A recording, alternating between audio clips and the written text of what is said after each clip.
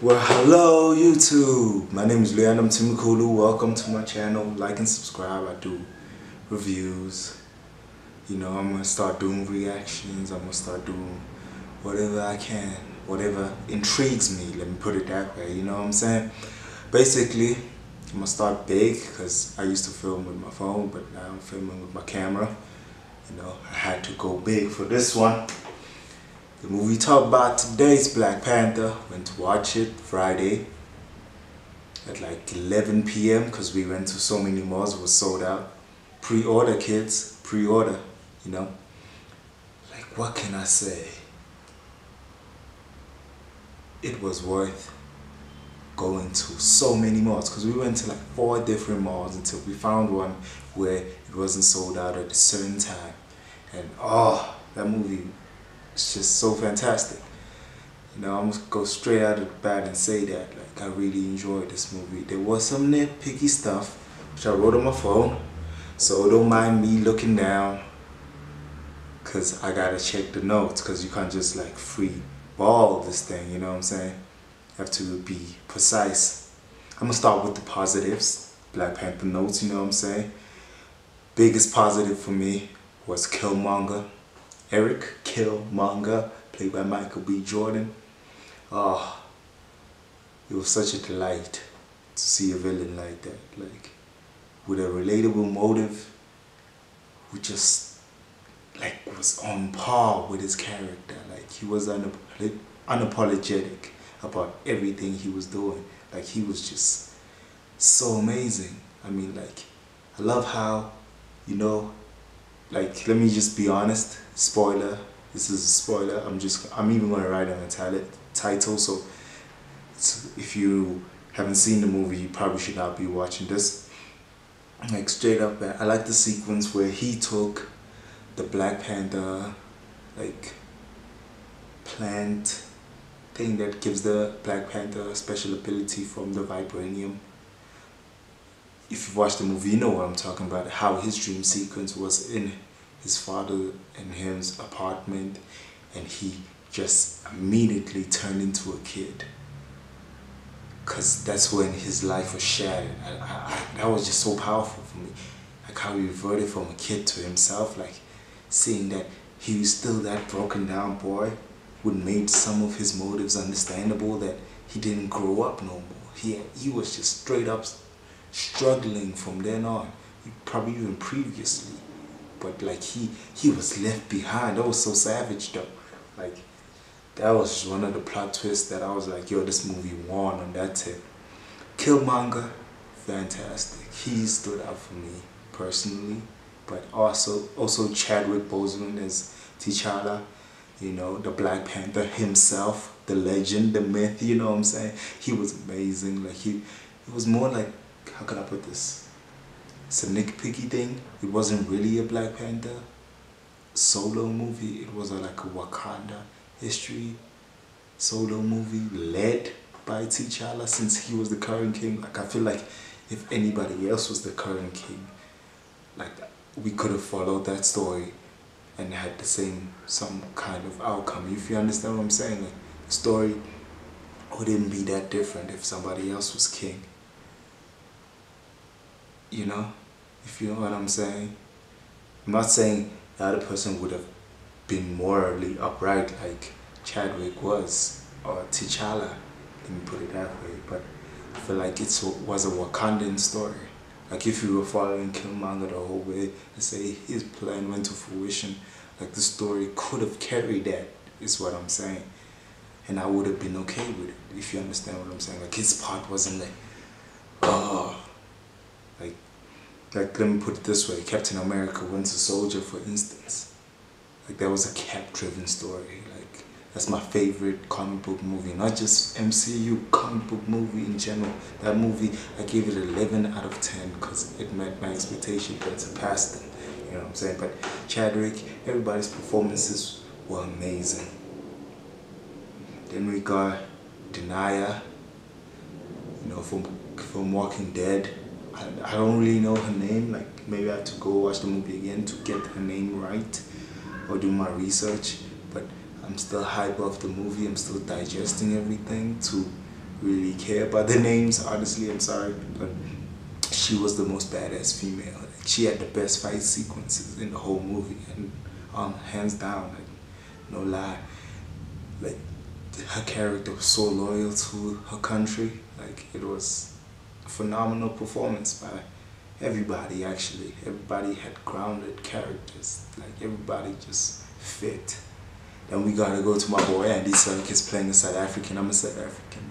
In case y'all don't know, probably put it in the title too, so y'all know what Africans feel about this movie. It was amazing. He was, he sounded even South African. Like a lot of people outside the South African cast they had, which was a delight to see. On top of that, oh, such a delight seeing people kind of grew up on TV watching in such a big platform was amazing as an aspiring filmmaker. It's like oh, like these people made it, you know what I'm saying?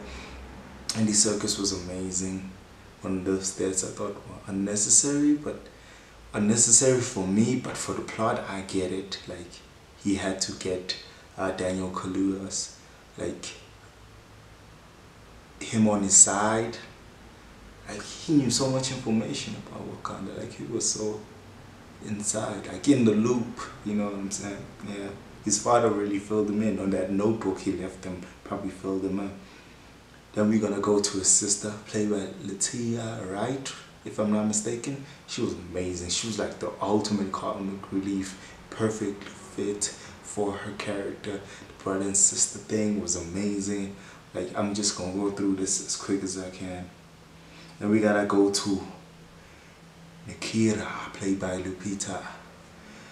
I really liked their relationship, that it was, there was more to it, like we want to know what broke them up, probably her ambition, but like you know what I'm saying, like the history of relationship was more enticing than them getting back together for me, honestly.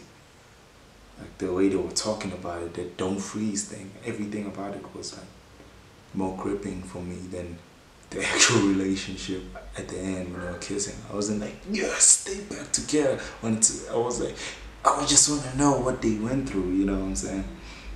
Then Mbaku, ah, man ape himself. That was a performance. I didn't understand his accent. I thought, what, he's African, what, which region? I was trying to like define which region his accent was from because he sounded Nigerian. Sometimes it sounded South African. Sometimes it sounded a mixture of both. But I really enjoyed it. Like his performance was here's the best one-liner, savage and funny. Like best one-liners were from Andy Serkis and Mbaku. Like yo, those characters was just phenomenal. I like the practical effects of the movie.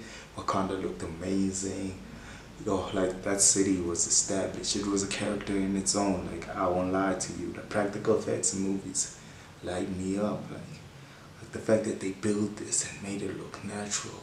Sure, they use green screen, all these elements, VFX to make it look more better. But if it's practical, I just, I just lose it.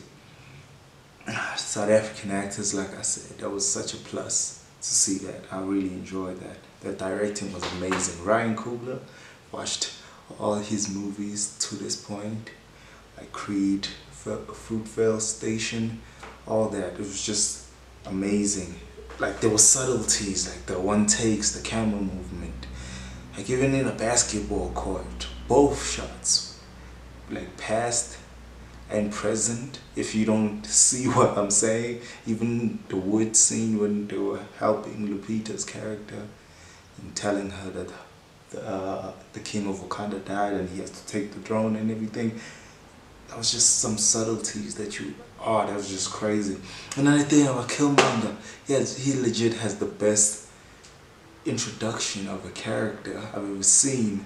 Not ever seen, let me say, ever seen since Winter Soldier when he blew up um, Nick Fury's car in Winter Soldier. Like, yo, like I really like it, so I keep bringing it up. I'm sorry, but uh, the meaning of the movie was so empowering. Like, like as a black person, especially from a country that was colonized, it's like amazing. and you understand why they didn't help, but you also like, why didn't you help? Made Michael B. Jordan's character so relatable in that sense, if you understand what I'm saying. Oh, the score.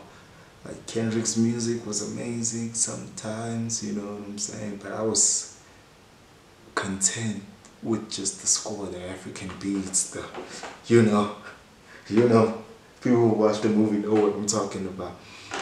Ah, it was just an amazing movie. I had to do my research on each one of these people because they did a phenomenal job. Like who they are, what they've previously done, so I can watch it more or listen to it more. You know what I'm saying? Are some of problems though. Not enough action.